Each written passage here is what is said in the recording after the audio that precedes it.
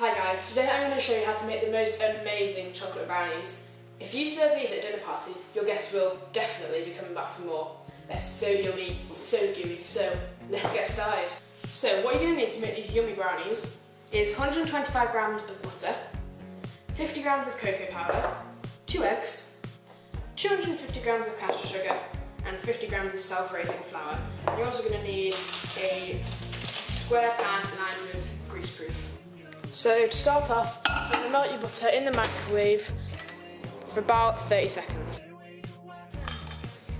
Once your butter is completely melted, pour in that cocoa and just stir until you get a nice chocolatey mixture.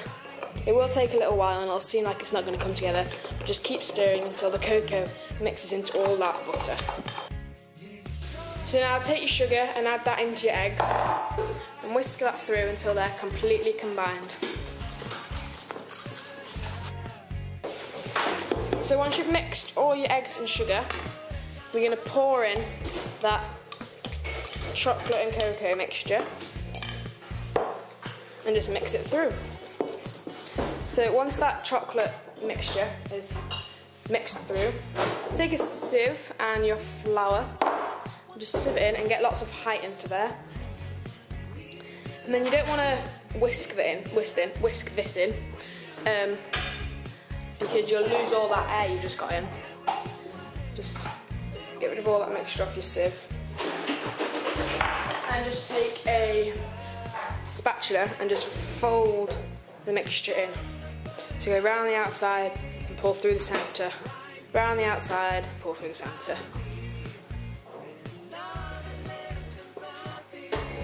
And when that's all mixed in, it's going to go off into the preheated oven for about 20 minutes until it's cooked through and nice and hard.